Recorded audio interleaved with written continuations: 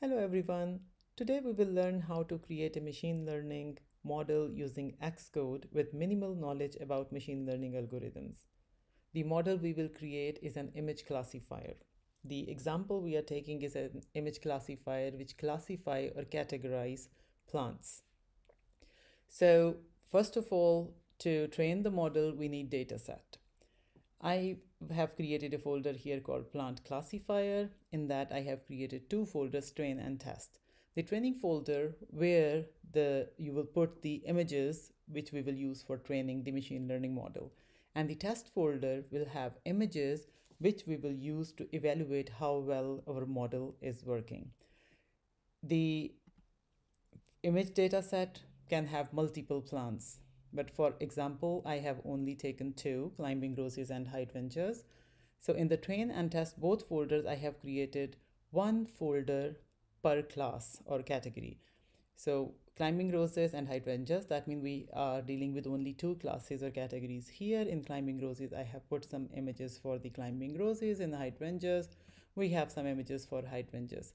Same in the test. Uh, make sure that in the test folder, you have different images than the training since these images will let us evaluate how well model will work in the uh, real application. All right, so now once we have our data set ready, we will open Xcode.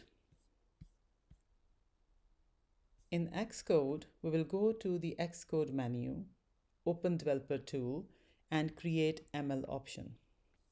This will open create ML for us.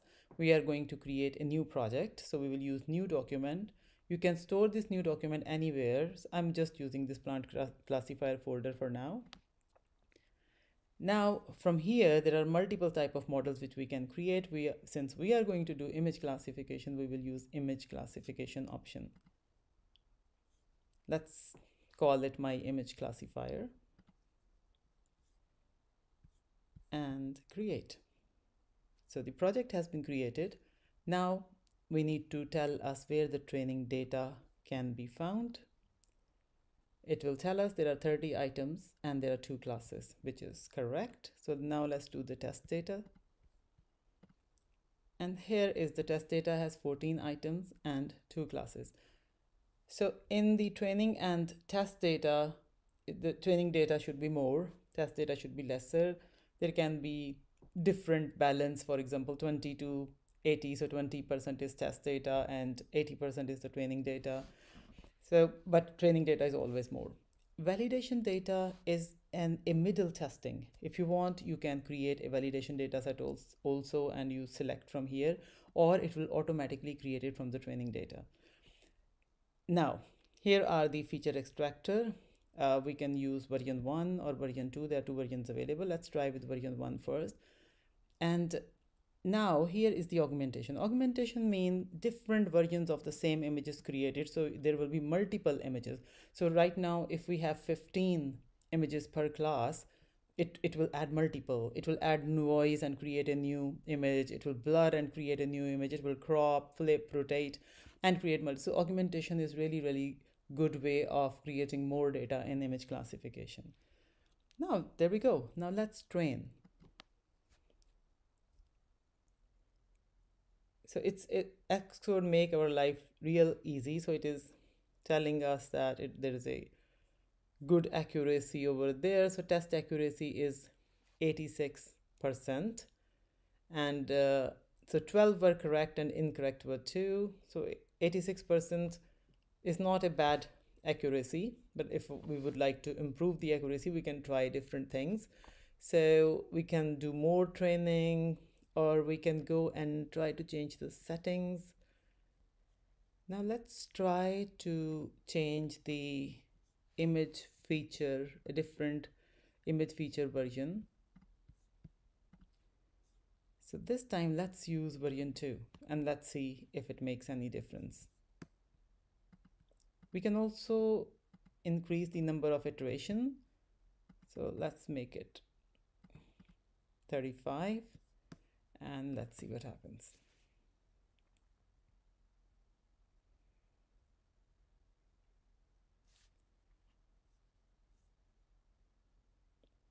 All right, and you can see that the test accuracy increased to 93% from 86%. All right, so the feature version 2 worked better for us. You can also drop some new images and see how your model work. Let me see if I can find some. Okay, so for example, if I have these two images and I will drag and drop it there, it is processing and it tells that it's a climbing rose, which we can see is correct. So it's a kind of an application where you can uh, work with these things. And in the output, you can also go and download this model. Let's call it my model and save it in the plant classifier.